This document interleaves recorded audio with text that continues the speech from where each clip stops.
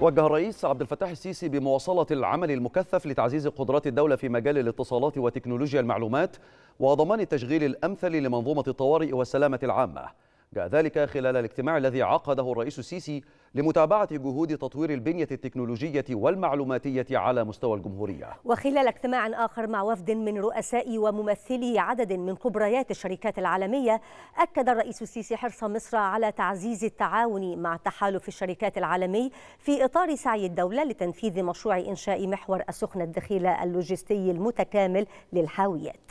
استقبل السيد الرئيس عبد الفتاح السيسي وفدا من رؤساء وممثلي عدد من كبريات الشركات العالمية الصينية والفرنسية والسويسرية العاملة في مجال إدارة وتشغيل الخطوط الملاحية ومحطات الحاويات الدولية.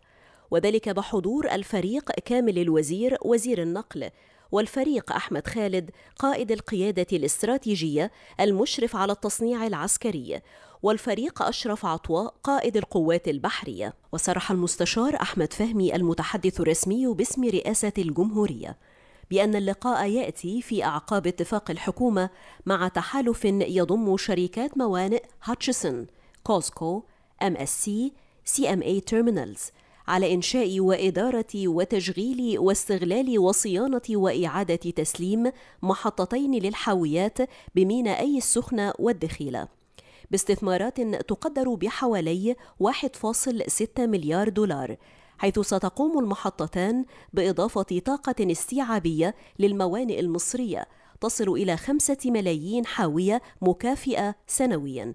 ما يمثل زيادة بنسبة 50% من قدرة الموانئ المصرية لتداول الحاويات. وخلال الاجتماع عبر السادة الحضور عن تفاؤلهم بمستقبل الاستثمار في مصر في ضوء ما يلمسونه من فكر متطور في إدارة مناخ الأعمال يهدف لتعظيم الاستفادة من التحديث المتكامل للبنية الأساسية سواء على مستوى الموانئ البحرية أو شبكة الطرق والمواصلات المتطورة التي تربط بينها وخاصة القطار الكهربائي السريع بما يحقق التواصل بين مناطق الإنتاج والاستهلاك والمراكز اللوجستية والموانئ الجافة بالإضافة إلى التنامي الإيجابي في مستوى المرافق والخدمات. وكلها أمور تؤهل مصر لاستيعاب استثمارات أكبر في جميع المجالات. وأوضح المتحدث باسم رئاسة الجمهورية أن السيد الرئيس عبد الفتاح السيسي أكد حرص مصر على تعزيز التعاون مع تحالف الشركات العالمي في ضوء ما تتمتع به هذه الشركات من مكانة دولية رفيعة في مجالها وخبرات فنية وإدارية متميزة. وذلك في إطار سعي الدولة لتنفيذ مشروع إنشاء محور السخنة الدخيلة اللوجستي المتكامل للحاويات والذي يعد أكبر ممر لوجستي متكامل لخدمة التجارة العالمية بين الشرق والغرب بالربط بين البحرين الأحمر والمتوسط بما يزيد من حصة مصر في السوق العالمية لتجارة الترانزيت ويسهم في فتح أسواق جديدة للصادرات المصرية من خلال تشغيل خدمات ملاحية مباشرة بالإضافة إلى توفير فرص عمل جديدة للمواطنين المصريين. كما اجتمع السيد الرئيس عبد الفتاح السيسي مع الدكتور عمرو طلعت وزير الاتصالات وتكنولوجيا المعلومات والفريق أحمد الشاذلي رئيس هيئة الشؤون المالية للقوات المسلحة واللواء أركان حرب بكر البيومي مدير إدارة الإشارة للقوات المسلحة. الاجتماع شهد متابعة جهود تطوير البنية التكنولوجية والمعلوماتية على مستوى الجمهورية في إطار المشروع الاستراتيجي للتحول الرقمي للدولة. كما تم التطرق إلى الموقف التنفيذي للشبكة الوطنية الموحدة للطوارئ والسلامة العامة.